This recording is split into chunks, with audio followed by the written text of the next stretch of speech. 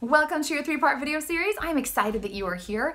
You are going to learn something that most people in the world do not know how to do. And once you learn it and realize how easy this is, your entire world is going to change. I, I guarantee it. Your conversations will flow so much smoother. You'll be able to get your point across a little bit easier.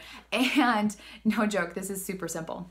So, the first part of this video series is all about tuning in. I want you to start to listen and pay attention to your mind chatter, the world around you, the people in your family, your relationship with your daughter. I really want you to tune in to what you hear and what you are saying.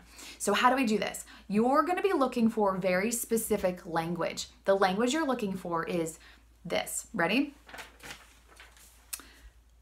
I'm too this. I'm too X. I'm too and fill in blank. She's too fill in blank. If only you would fill in blank. If you find yourself saying statements like this, and it's amazing how we don't pay attention to them and they happen all day long. So, for example, I'm too headstrong. She's too headstrong. Ugh, you're so bossy, right? Just simple statements we're going to start to listen to those statements because those statements are all in dire need of a reframe.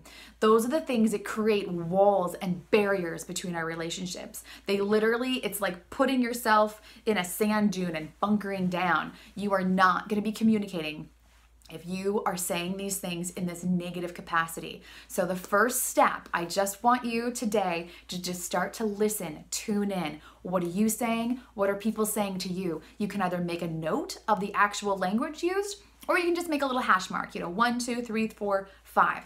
Just kind of make sure that you are becoming cognitively aware of the language that you're using. And I will see you tomorrow where we're going to talk about how to reframe that and and become super really excellent at reframing.